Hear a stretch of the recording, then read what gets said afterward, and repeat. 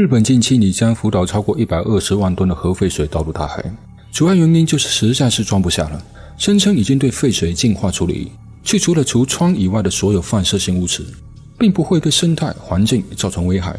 此举引发了轩然大波，除了漂亮国公开表示支持，周边各国都表示反对。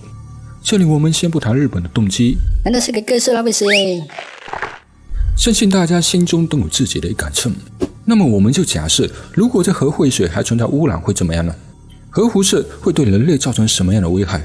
大家好，我是王浩晴。辐射是自然界中的一种正常现象，任何温度高于绝对零度的物体，其实都会产生辐射。比如阳光、大理石、香蕉，只是剂量微小，不会对人产生危害。很多人谈辐射病，其实并没有那么严重啦。之所以造成对辐射的恐慌感，可能战争才是主要的原因。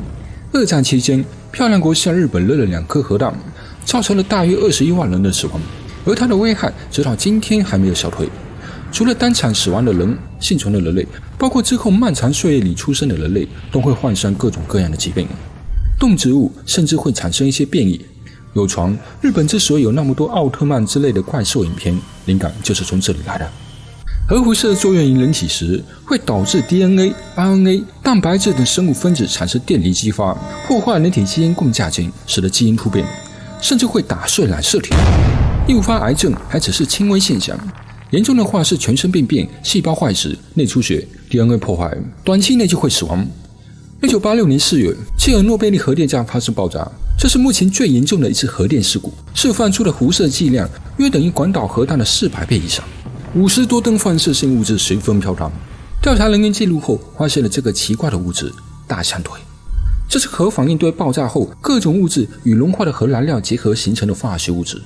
这张图并不是抽象派艺术或者幻觉，而是拍照时核辐射对胶卷造成损坏，导致出现了幻影。实际上，这里有两名穿着防护服的调查员，在最初发现这个物质时，辐射值高达一万伦琴每小时，暴露三十秒将会眩晕，五分钟就会死亡。这次事故直接、间接、后续影响的死亡人数估计超过百万。这还只是一九八六年代的一个核电站，而今全球核电总数超过了四百五十个，并且还在陆续上升的阶段。大家可以想一想其中蕴含的巨大风险。一九九六年一月五日七点多，十九岁的宋学文在吉林建设公司工作，于上班途中在地上捡到一条金属链，寻找失主无果后，就先把链子放进裤袋，准备先去上班，空了再去找失主。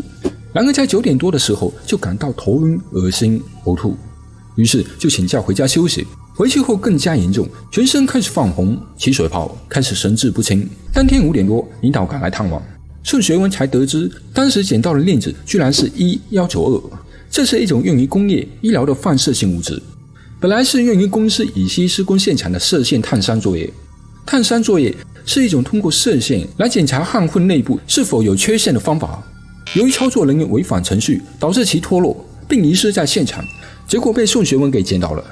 之后紧急送往了医院。三年时间里，大小手术不断，陆续切除了双腿、左手前臂，右手只剩中指。白内障、肝硬化、糖尿病、心脏病，记忆力减退，伴随着他的一生。二零一九年四月二十三日去世。这是中国首例核辐射案，也让世人更加清楚地了解核辐射的危害。日本声称的核废水只剩下无法处理的氚，是真的吗？还是转移公众视线的一个手段？核废水包含着碘、铰、铼、地、钴、锶各种物质，真的能完全净化去除吗？如果是真的，何必这么麻烦呢？这一百多万吨的水，日本千家万户一人一口不就解决了？毕竟干净嘛。